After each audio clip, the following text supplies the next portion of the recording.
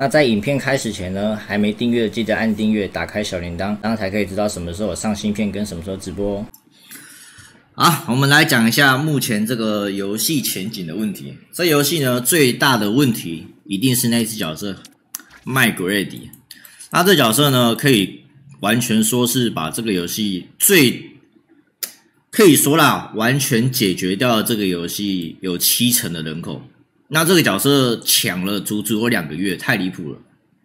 那其实，在众多社团啊、社群啊，甚至是 YT 的影片、实况组啊，或者是甚至是顶尖的高手们，或者是呢，这夺冠的，就是这一次 DCDC 杯夺冠的队伍前三名的队伍，都认为麦格瑞迪的角色是无敌的。但就是有一票人，一票害群之马，就是那群氪金的啊，或者是猪头啊，然后一直说麦格瑞迪可以守，可以协防，没那么难打，然后导致于呢，诶。这个观念一直在拉扯，最强的人都跟你说不能守了，然后就有人一直说可以守，导致这个角色的平衡呢，一直不断的、不断的没有办法很快速的做更新。那时间久了，这个角色就一直破坏这个游戏的平衡，那最后就没人了。啊，说实话，上一季人我玩场次超级少，我只玩了两百多场，然后打到打到巨星之后拿了奖励，人就走了。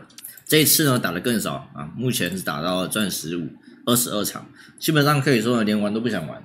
那夺冠的队伍呢？小七也都没在玩的。一夺冠呢，应该说他们没夺冠前就决定不玩了，因为买国力太夸张了。买国力造成什么样影响？跟大家讲，那时候团练嘛，然后这游戏又没有比赛服器，不能在比赛服团练，那么团练是很痛苦的。那跟野团打的话，你永远只能打麦鬼底。可是那时候在团练的时候。你根本不可能，你比赛是没有麦格瑞迪的，也没有那个那时候也没有那个德劳嘛，所以你在团练的时候根本没办法做团练，你没办法印证答案，所以这种情况下造成选手已经本来就已经很不爽，然后还完全不改，一直到比赛打完，然后现在比赛打完了，想要准备要办下一届比赛嘛，那目前为止，其实做这个这一集的这个不合作的这个主题，主要是因为我看了那个大波仙的影片。他们做了一个三人的联动采访，然后说这个游戏目前唯一的问题。那我觉得麦格瑞迪一定是第一个。那第二个呢？是我觉得这游戏的时装属性给的太夸张了，不管是像是科瑞的勇士装之类的那种，或是打博王的这种特殊装，我认为装备给的属性不能是太夸张的，就是不能是这么不平衡的。那再来是说。我认为这游戏你拿到橙卡是完全没干用的，我只能这样讲，橙卡是完全没干用的。这角色这游戏就是一个氪金游戏，它需要高土，它是很佛心没有错。那它佛心建立在这个游戏早期，因为游戏早期能玩的角色很多，OP 角没那么多。但它后面出的每一只橙卡，一只比一只还夸张，而且它的每一个强化高土都越来越强。那强化高土的情况下呢，在你是无氪玩家或者小氪玩家，你根本没有办法跟这些重氪玩家抗衡，是连玩都没办法玩的。它不像隔壁养棚是可以用踩的做干扰的就好了，至少你把干扰踩足，然后来去做处理。它是因为这游戏本来就是攻大于守，所以你根本没办法去防守，它就是只能眼睁睁的看着你被炸，就是你也不能干嘛，然后。对面还会队友还会发什么注意篮板啊，注意防守啊，人盯人，然后导致整个游戏风气越来越差。那这个在另外两棚呢，虽然也是会看到游戏变差，但是就是能至少他能踩到干扰，这差很多。但当然呢，另外两棚现在冠高已经衰败了嘛，已经确定开始朝这个游戏迈进了嘛，就是完全守不了。那守不了一点也要被气愤，那谁会想玩？那这更何况他完完整整强了两个月，他强了两个月。两个月太夸张，这一棚不能顶头，没有错，他不能顶头，但是他不需要顶头，他球球空位出手，那请问有顶跟没顶有什么差别？这游戏空位出手更可怕，因为他没有接球，低球就是进。那马鬼里三分球、三分球打一头到底怎么玩？而且他有所谓的缩圈机制，那他还他还把一些小细节给改掉。那最让我们不爽的是，他改掉了这个背向，就是我们不是有教大家这个这个，如果跟敌人打的话。可以切换这个，例如说现在一号位持球，你本来是守三号位的，你可以背防面向那个人，增加接球几率。这个细节居然官方会把它改掉，这明明就是一个有技术性的东西，然后却把它给拔除。那移除掉不该移除的，却一直把该移除掉、该削弱的一直放着，这是一个很大很大的问题点。那再来是说，我觉得这游戏一定要加入一个元素，而且这个东西我在官方。三个月前就跟他们提案了，他们迟迟没有动作，所以这个游戏一定要有一键返还功能。我说的一键返不是这个一键返还哦，这个一键返还是很正常，我觉得这个是这游戏最厉害的地方，因为它有一键返还。但是它最应该返还的东西是什么？是高图的返还，它一定要能返还这个东西。那这东西返还要返还成什么？它可以返还成碎片啊，就是商城里面的这个游戏碎片。这个角色的碎片，你起码要返还这个吧，不然谁敢直接高图？你一高图，然后一角色一改版，例如说现在好了，我讲一句老实话，老包 James，老包 James 一开始很强，大家都在玩，那你玩到后面你六图了，结果突然出现这马格瑞迪，你怎么玩？你根本守不住他，你六图有什么用？艾玛格瑞迪，那你打包你能不玩吗？你六图嘞？你氪了这么多钱呢，所以我觉得最应该改的，应该是要一键返还这个高图的部分。你把它换成碎片嘛，然后第二次换成八十趴，这不好吗？这个提案我在三个月前就跟这个官方讲了，所以这这一直没有给到回馈，我是这一点我蛮不爽的。那其实我们最近有我自己啊，有经纪人嘛，那一直有在跟那个米宝谈工上的事情，那谈了整整两个两个月。那米宝呢是给了我们一个长约，一年的长约，一年。所以，但是这个一年呢不绑游戏，就是我可以在途中玩任何游戏都没关系。这个我觉得麻烦的地方是在于他绑了一年，但是我看不到这个游戏的前景。原因是因为他没办法，他知道他会了解民意，但他却没办法瞬间去做改动。例如说哈菲斯之类的，像他有时候小 bug 可能哈菲斯，可是角色的像这种过强的。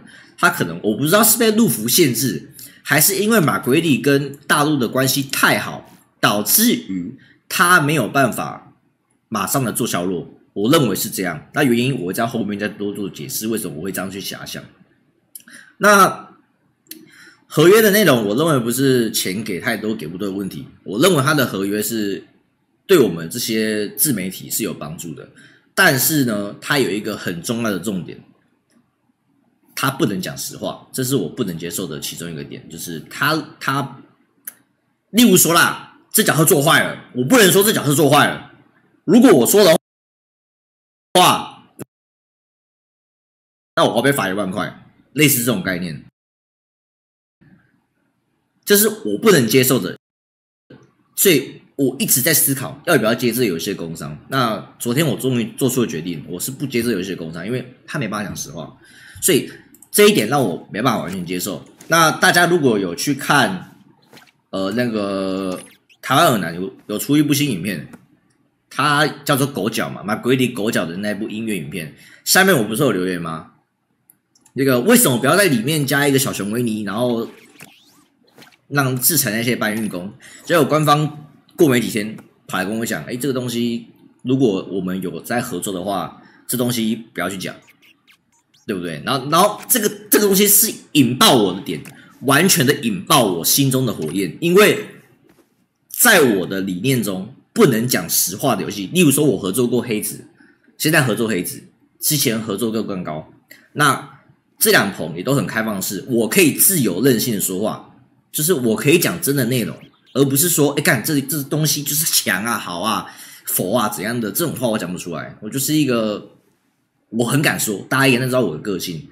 他有问题，就是他妈就是有问题，我就一定会讲。我不可能会说这角色没问题，哎，可以玩，可以玩，可以玩。所以我非常不能接受。所以我最后昨天是决定不跟他们接受这个工伤。然后我也讲的很明白。当然，米宝之前的像是转播啊给的东西，我觉得对我都很有帮助。所以我个人是很感谢米宝的。但是如果要让我签一年的长约，并且是这种形式的话，我是没办法接受的。所以这边呢，跟米宝说声抱歉，没办法，真的没办法接受你们的合约。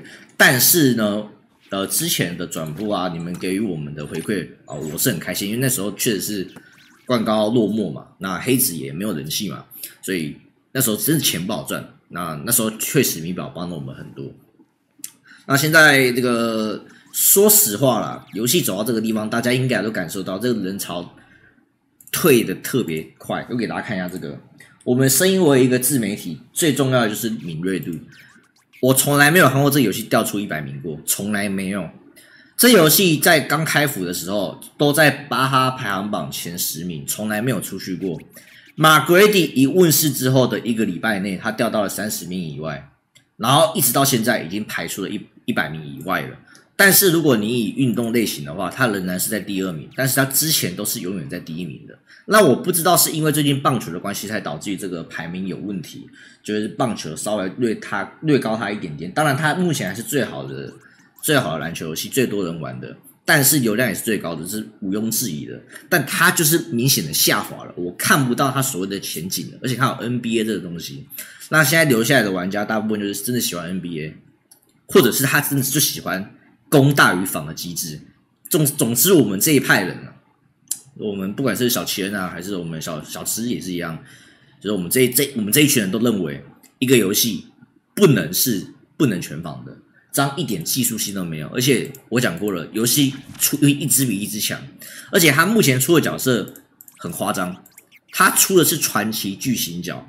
那你传奇巨型角出来之后呢？你做的烂，你得罪球星；你做的太强，就变成马奎迪二号。那更不用讲，现在出的两只，每次都跟鬼一样。现在这一只被 nerf 了，这一只变得跟鬼一样了。你们有感觉到这现在跟鬼一样吗？所以这种情况下，官方又一直要出这种下一只是 p a 送嘛？你又要再出中角色，那那请问大家怎么玩？你要么就平衡这些角色的改动，原本角色的改动，重点是拜托。给回馈，你可以给回馈玩家福利，甚至免费拿一只满图满城的角色，我都能接受。我在这个游戏起码氪了七万块起跳了，七万块是哪里来的？工商费的钱我全部拿来再再砸在这款游戏，我可以说是没有拿米宝半毛钱去处置这款游戏的，所以我敢在这边讲实话，他给我多少我就出多少。我觉得这东西是一定要改的，你不把东西吐回来给我，而我出进去之后我能干嘛？所以这个东西你。改的话，然后再把新手的福利、回归玩家的福利改回来，诶，这样也许人潮会回流。否则现阶段我根本没办法接受长约这种事情，那就是我目前对这游戏的前景看法。那更不用说风气真的很差，差爆炸啊！我每次角色其实都有抽。除了错过的这个塔图姆啊，下个礼拜复刻我会把它抽出来。阿文呢，如果有复刻我会把它抽出来，全部当场馆啊。断头我不会抽，我是他的黑粉啊。原因很简单，大家应该都知道。那你们知道为什么我每次都抽，每次都不突破吗？因为我就是在等官方愿意出我所提案的强化返还，不然谁敢练？我就问你，我每一次都抽啊，我每一次都满图啊，下一次传角色一出来，我不就不用玩了？对不对？所以我每一只都抽，但我每一只都不敢涂、不敢强化，就是因为这样，我就把它抽出来。等到有一天米宝知道我们的名义之后，愿意把这个强化卡吐出来的时候，我认为这游戏愿意给回国礼，这游戏就会回归，人就会回来。这是我给米宝爸爸的最好的建议，是这样做。那我个人是所谓的这种走法，就每一次都氪，每一次都抽，抽完不练。原因就是因为我在等他到底要不要给这个返还啊，这是我给米宝最后的建议。那当然我也很谢谢米宝在这个阵子给我转播这些这个游戏的这个金元啊，虽然这个金元我还完全的砸在这个游戏里面的，那但也没关系，至少他有给我到给到我流量嘛，都是互相帮助。只是我在这个游戏呢退坑之前呢，啊不退坑，我不会退坑，因为我都有在十二点过后乖乖的打王朝模式。乖乖的打我的这个五场争霸，所以呢，严格来讲，我没有退坑，我只是没有玩排位，我只是打王朝，我有打王朝，不代表我退坑，对吧？对不对？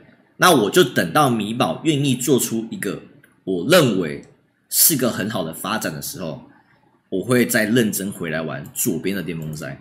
右边的王朝呢，我会一直玩，一直玩，玩到他改改变为止。那他现在又要再办一个新比赛了嘛？那我只能跟大家讲，小七没有报名，所以呢，你们可以去拿二三名，因为龙本川应该会报名，所以二三名也有奖金啊，所以二三名就去抢吧。那第一名呢，应该就是龙本川了，因为这游戏老大哥已经不爽玩了，因为没办法玩，真的没办法玩，以新鲜到环境没办法玩，而且看不到任何未来。那我们角色排行榜也暂时不会出，除非我们认为这游戏有一个比较好的改动方向。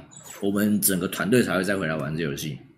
那我认为，呃，他们的实况组推案是很 OK 的，因为像黑染最失败的地方就是在游戏刚出的时候，他不愿意撒钱给实况组们去推广游戏，导致于呢没有人去在乎这款游戏，或者是他撒钱给一些根本就是玩完就删的游戏。那最近我发现全明星街头派对也有这个倾向，他们把钱丢给谁？丢给紫色学校的玩家。那紫色学校，我就明讲图奇，我的前东家。那一些人是什么人？玩完游戏，工商完就一定会把游戏删掉了。你把钱发给那些人，当你做这个动作的时候，你就跟黑蓝的行销商没什么特别的。所以，这是我三大的引爆点，不合作的引爆点。那这是我给米宝最后的建议啦：钱要投资在正确的地方，砸在正确的地方，不要被不要被政治立场绑架，该砍就得砍，民怨要听。啊，以上就是我要对米宝讲的话啊，还是很爱米宝啦，米宝宝宝，赞。